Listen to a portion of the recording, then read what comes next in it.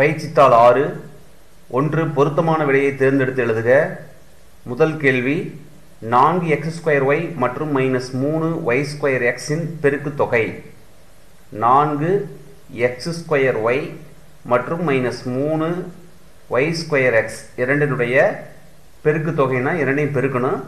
குறிய பாருங்க நான்கினுடைய குறி ப்ளஸ் இப்போது ப்ளஸ் இன்ட்டு மைனஸ் முதல்ல மைனஸ் வரும் நாலையும் மூணையும் பெருக்கணும்னா பன்னிரெண்டு. அடுத்து எக்ஸனுடைய அடுக்கை பாருங்கள் எக்ஸ் ஸ்கொயர் இங்கே எக்ஸு எக்ஸ்னா எக்ஸினுடைய அடுக்கில் ஒன்று இருக்குது இப்போ எக்ஸையுமே எக்ஸ் ஸ்கொயரையும் பெருக்கலாம். நம்ம ஒன்று படிச்சிருக்கோம். ஏ பவர் எம் பெருக்கல் ஏ பவர் என் அப்படின்னா ஏயினுடைய அடுக்கில் எம் ப்ளஸ் என் எழுதலாம். அடிமானம் ஒரே மாதிரி இருந்து அடுக்குகளை வந்து கூட்டிக்கலாம். பெருக்கலாக இருந்துச்சுன்னா இப்போ எக்ஸ் ஸ்கொயரையும் எக்ஸையும் பெருக்கும்போது எக்ஸினுடைய அடுக்கில் ரெண்டு கூட்டல் ஒன்று மூணு வந்துரு. அதே போல் ஒய்யினுடைய அடுக்கில் இங்கே பார்த்தீங்கன்னா ஒன்று இருக்குது இங்கே ஒய் ஸ்கொயரில் ரெண்டு இருக்குது அப்போ ஒன் ப்ளஸ் டூ ஒய்யினுடைய அடுக்கு மூன்று. இதுக்கு விட பார்த்தீங்கன்னா இரண்டாவது விடை மைனஸ் பன்னிரெண்டு எக்ஸ் கியூப் ஒய் கியூப் இரண்டு ஒரு பெரியவர் மற்றும் ஒரு சிறியவரின் பேருந்து கட்டணங்கள் முறையே ரூபாய் எட்டு மற்றும் ரூபாய் ஐந்து எனில் எக்ஸ் பெரியவர்கள் மற்றும் ஒய் சிறியவர்களின் மொத்த கட்டணம். இப்போ பெரியவர்கள் எத்தனை பேர் அப்படின்னா எக்ஸு எக்ஸுங்கிறது பெரியவர்களுடைய எண்ணிக்கை சிறியவர்களின் எண்ணிக்கை ஒய் பெரியவர்களுக்கான கட்டணம் ரூபாய் எட்டு. அப்போது எக்ஸ் பேர் இருக்காங்க ஒருத்தருக்கு எட்டு ரூபாய் அப்படின்னா பெரியவர்களுக்கான கட்டணம் எட்டையும் எக்ஸையும் இருக்குன்னா எட்டு எக்ஸ் அதே போல் ஒய் சிறியவர்கள் இருக்காங்க சிறியவர்கள் எண்ணிக்கை ஒய் அவர்களுக்கான கட்டணம் ஐந்து ரூபாய். ஒய் இன்ட்டு ஐந்து ஐந்து ஒய் இது வந்து பெரியவர்களுக்கான கட்டணம் எட்டு எக்ஸ் சிறியவர்களுக்கான கட்டணம் ஐந்து ஒய் மொத்த கட்டணம் கேட்டிருக்காங்க. அப்போ ரெண்டையும் கூட்டிக்கலாம். எட்டு எக்ஸ் ப்ளஸ் ஐந்து ஒய் என்பது மொத்த கட்டணம். முன்னாடி வந்து ரூபாய் சிம்பிள் போட்டுக்கலாம். அப்போது ரூபாய் எட்டு எக்ஸ் ப்ளஸ் ஐந்து ஒய் ஆ முதல் ஆன்சர் பார்த்தீங்கன்னா ரூபாய் எட்டு எக்ஸ் ப்ளஸ் ஐந்து ஒய் என்பது இதற்கான சரியான விடை. மூன்று V equal to LBH L சமம் மூணு எக்ஸ் பி சமம் ஐந்து ஒய் ஹெச் சமம் டூ ஜெட் எனில் வியின் மதிப்பு. இப்போ வியினுடைய மதிப்பு கொடுத்துருக்காங்க. வி சமம் L into B into H L into B into ஹெச்னா L பெருக்கல் பி பெருக்கல் ஹெச் இப்போ இதனுடைய மதிப்பு பிரதியிடணும். எல்லுக்கு என்ன கொடுத்துருக்காங்க? த்ரீ எக்ஸ் பெருக்கல் பியினுடைய மதிப்பு ஐந்து ஒய் பெருக்கல் ஹெச்சினுடைய மதிப்பு டூ ஜெட் எல்லாத்தையும் பெருக்கும்போது என்ன வரும்னா மூணு அஞ்சு பெருக்குன்னா மூஞ்சு பதினஞ்சு பதினஞ்சு ரெண்டு முப்பது.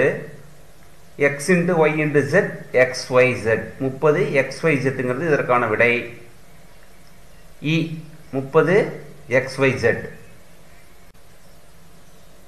நான்கு மைனஸ் எட்டு A cube B C power four equal to minus ரெண்டு இன்ட்டு ஒரு விடுபட்ட எண் பாக்ஸில் கொடுத்துருக்காங்க. Into four A square BC cube எனில் அந்த பாக்ஸினுடைய மதிப்பு என்ன? பாக்ஸுக்குள்ளே என்ன வரும்னு கேட்டிருக்காங்க. இப்போ ரெண்டு பக்கம் பார்க்கலாம். எல்ஹெச்எஸ் சைடு பார்த்தீங்கன்னா மைனஸ் எட்டு A cube B into C power four கொடுத்துருக்காங்க. ஈக்குவல் டு ஆர்ஹெச்எஸ் சைடு பாருங்கள் மைனஸ் ரெண்டு இருக்குது அதுக்கடுத்து ஒரு பாக்ஸு இந்த பாக்ஸில் என்ன வரும்னு போடணும். அதுக்கடுத்து என்ன கொடுத்துருக்காங்கன்னா இந்த பாக்ஸ்குள் இருக்கிறத பெருக்கியிருக்காங்க. ஓகே எதை பெருக்கியிருக்காங்கன்னு பார்க்கணும். Four A square BC cube இருக்கு. இப்போ மைனஸ் எட்டு வந்திருக்கு. மைனஸ் எட்டு வர்றதுக்கு பாருங்கள் மைனஸ் ரெண்டையுமே நான்கையும் பெருக்குனா மைனஸ் எட்டு ஓகே இது கரெக்டாக இருக்குது அடுத்தது ஏ கியூப் வந்திருக்கு. இந்த பக்கம் பாருங்கள் ஏ ஸ்கொயர் தான் வந்திருக்கு. அப்போ கண்டிப்பாக இன்னொரு ஏ இருக்கணும். ஏ இருந்துச்சுன்னா ஏவையும் ஏ ஸ்கொயரையும் பெருக்கும்போது ஏ கியூப் வந்துரு அடுத்து பி இருக்குது பி இருக்குது இங்கே சி பவர் ஃபோர் இருக்குது இங்கே சி கியூப் தான் இருக்குது அப்போ சி கியூபை சியால் பெருக்கணும்னா சி பவர் ஃபோராக நம்மளுக்கு கிடைக்கும். அப்போது பெட்டிக்கில் வரக்கூடிய எண் ஏசி என்பது இதற்கான விடை. ஆ ஏசி ஐந்து two M into three M square minus four N plus செவனின் விரிவாக்கம். வெளியே இருக்கிற ரெண்டு எம்மால் உள்ளிருக்கக்கூடிய ஒவ்வொரு உறுப்பையும் நம்ம பெருக்கணும். முதல்ல த்ரீ எம் ஸ்கொயரை பெருக்கணும் அடுத்தது மைனஸ் ஃபோர் என் அதுக்கு அடுத்தது ப்ளஸ் ஏழு. இந்த மூணையுமே நம்ம பெருக்கி எழுதணும் இதற்கான விடை கிடைச்சிது. முதல்ல இந்த two M into three M square பெருக்கும்போது ரெண்டு இன்ட்டு மூணு ஆறு M into M square M cube வந்துடு அதுக்கடுத்து ரெண்டு எம்மால் இந்த மைனஸ் ஃபோர் என பெருக்கணும்.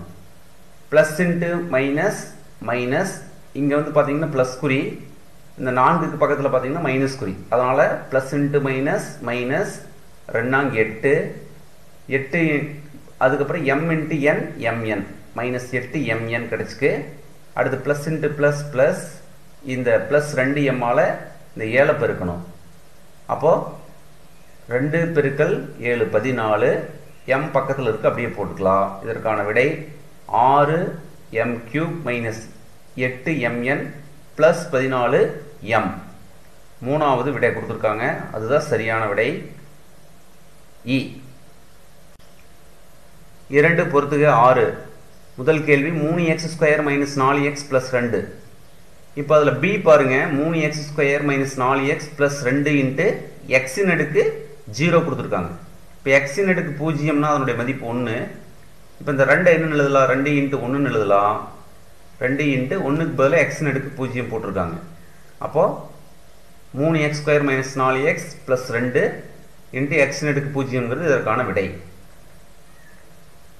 பி இரண்டாவது பாருங்கள் ரெண்டு எக்ஸ் ப்ளஸ் மூணு இன்ட்டு ரெண்டு எக்ஸ் மைனஸ் மூணு. இப்போ ரெண்டு எக்ஸ் ப்ளஸ் மூணு இன்ட்டு ரெண்டு எக்ஸ் மைனஸ் மூணு. இது எந்த வடிவில் இருக்குன்னா? A plus B into A minus B இந்த வடிவில் இருக்குது இதுக்கு என்ன விரிவாக்கம்னா? ஏ ஸ்கொயர் மைனஸ் பி ஸ்கொயர்னு படிச்சிருக்கோம். A square minus B square இப்போ இதை ஸ்கொயர் பண்ணோம்னா ரெண்டு எக்ஸ் இருக்குது அப்போ ரெண்டு X the whole square minus பிங்கிற இடத்துல மூணு இருக்குது மூணு ஸ்கொயர் ஸ்கொயர் பண்ணோம்னா ரெண்டு எக்ஸ் த ஹோல் ஸ்கொயர் வந்து நாலு எக்ஸ் ஸ்கொயர் மைனஸ் ஒன்பது. அப்போ சி வந்து இதற்கான ஆன்சர் நாலு எக்ஸ் ஸ்கொயர் மைனஸ் ஒன்பது.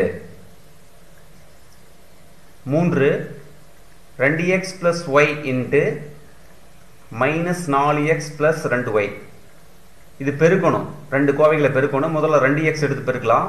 இந்த ரெண்டு எக்ஸால் இங்கே இருக்கக்கூடிய மைனஸ் நாலு எக்ஸ் அதே ரெண்டு எக்ஸால் ப்ளஸ் ரெண்டு ஒய் இரண்டையும் பெருக்கணும். பெருக்கும்போது ப்ளஸ் இன்ட்டு மைனஸ் மைனஸ் ரெண்டாங்க எட்டு X into X X square அடுத்து ப்ளஸ் இன்ட்டு ப்ளஸ் ப்ளஸ் ரெண்டு ரெண்டு நாலு X into Y X Y அடுத்து இந்த ஒய்யால் பெருக்கணும். ப்ளஸ் இன்ட்டு மைனஸ் மைனஸ் நான்கு எக்ஸ் இன்ட்டு ஒய் நான்கு எக்ஸ் ஒய் அடுத்தது ப்ளஸ் இன்ட்டு ப்ளஸ் ப்ளஸ் ஒய்யால் ரெண்டு ஒய்யை பெருக்கும்போது ரெண்டு ஒய் ஸ்கொயர் கிடைக்கு. இந்த ப்ளஸ் நாலு எக்ஸ் நாலு எக்ஸ் ஒய் மைனஸ் நாலு எக்ஸ் கேன்சல் ஆயிரு. ஏன்னா குறி வந்து ஒன்று ப்ளஸ் குறி ஒன்று மைனஸ் குறி கூட்டும்போது ஜீரோ ஆயிரு. அப்போ நமக்கு மீதி இருக்கக்கூடிய ஆன்சர் மைனஸ் எட்டு எக்ஸ் ஸ்கொயர் ப்ளஸ் ரெண்டு ஒய் ஸ்கொயர்ங்கிறது இதற்கான விடை டி மூன்று. அடுத்து நான்காவது பாருங்கள் X plus Y into X minus Y into zero ஜீரோவால் எதை பெருக்கினாலும் நமக்கு என்னதான் கிடைக்கி? ஜீரோ தான் கிடைக்கி. இதற்கான விடை ஜீரோ அப்போ நான்குக்கு ஏ ஏழு.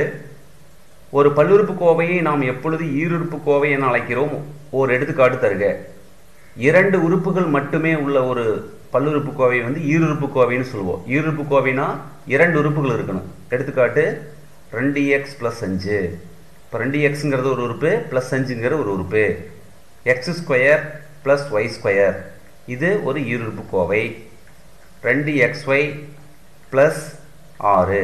இது ஒரு ஈருறுப்புக்கோவை minus X cube Y cube plus எட்டு. இது ஒரு ஈருறுப்புக்கோவை ஐந்து ஒய் மைனஸ் நான்கு. இது ஒரு ஈருறுப்புக்கோவை எட்டு பை ஸ்கொயர் மைனஸ் நான்கு எக்ஸ் ஒய் ஜெட் இது ஒரு ஈருறுப்புக்கோவை எட்டு நான்கு plus one by X minus மூணு என்பது பல்லுறுப்பு கோவையாக ஆராய்க. இப்போ ஒரு பல்லுறுப்பு கோவையினுடைய அடுக்குகள் எப்படி இருக்கணும்னா முழு எண்ணாக இருக்கணும்னு படிச்சிருக்கோம். இப்போ இங்கே பார்த்தீங்கன்னா ஒன் பை எக்ஸ்ன்னு கொடுத்துருக்காங்க. இந்த ஒன் பை எக்ஸ்னால் என்ன எழுதலாம்? எக்ஸின் அடுக்கில் மைனஸ் ஒன்னு எழுதலாம். இது ஒரு முழு எண்ணாக தான் இருக்கணும். இது ஒரு குறை எண்ணாக இருக்குது அடுக்கு அப்படி குறை எண்ணாக இருக்கிறதுனால இந்த ஒன் பை எக்ஸ் அப்படிங்கிறது வந்து இதில் வரக்கூடாது. அப்படி வந்திருந்தா இது ஒரு பல்லுறுப்பு கோவை அல்ல.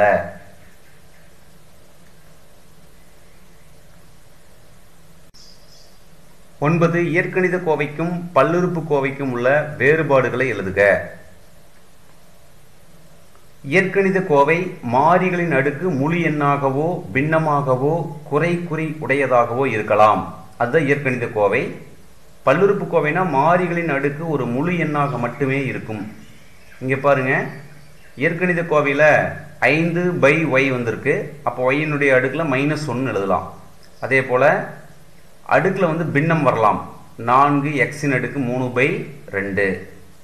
ஐந்து பை ஒய் இது மாதிரிலாம் எழுதலாம். இப்படி எழுதணும்னா இது வந்து அடுக்குகள் பார்த்தீங்கன்னா முழு எண்ணாகவோ பின்னமாகவோ குறை குறி உடையதாகவோ இருக்கலாம். இது வந்து இயற்கணித கோவைன்னு சொல்கிறோம் ஆனால் பல்லுறுப்பு கோவையில் அடுக்குகள் முழு எண்ணாக மட்டும்தான் இருக்கணும். X square X Y power ஆறு ஒய் கியூப் இப்படி இருக்கலாம். முழு எண்ணாக இருக்கணும். பத்து ஒரு சதுரங்க அட்டையின் பக்க அளவு எட்டு எக்ஸ் சென்டிமீட்டர் எனில் அதன் பரப்பளவை காண்க. ஒரு சதுரங்காட்டை பார்த்தீங்கன்னா சதுர வடிவில் இருக்குது அதனுடைய பக்க அளவு கொடுத்துருக்காங்க. எட்டு எக்ஸ் ஒரு பக்க அளவு எட்டு எக்ஸ்னால் நான்கு பக்க அளவுகளுமே சமமாக இருக்குது எட்டு எக்ஸ் எட்டு எக்ஸ் எட்டு எக்ஸ் இப்போ அதனுடைய பரப்பளவு கேட்குறாங்க ஒரு சதுரங்க அட்டையினுடைய பரப்பளவு வேணும் சதுரங்காட்டையின் பரப்பளவு சமம் ஏ ஸ்கொயர் ஒரு சதுரத்தினுடைய பரப்பளவுக்கான சூத்திரம் ஏ ஸ்கொயர் ஏங்கிறது எட்டு எக்ஸ் அப்போ எட்டு எக்ஸ் த ஹோல் ஸ்கொயர் எட்டு எக்ஸ் பெருக்கல் எட்டு எக்ஸ் எட்டு எக்ஸையும் எட்டு எக்ஸையும் பெருக்கணும். அப்போ எட்டு எட்டையும் பெருக்கணும் அறுபத்தி நான்கு X into X X square இதனுடைய சதுரங்கட்டையினுடைய பரப்பளவு அறுபத்தி நான்கு எக்ஸ் ஸ்கொயர் சதுர சென்டிமீட்டர்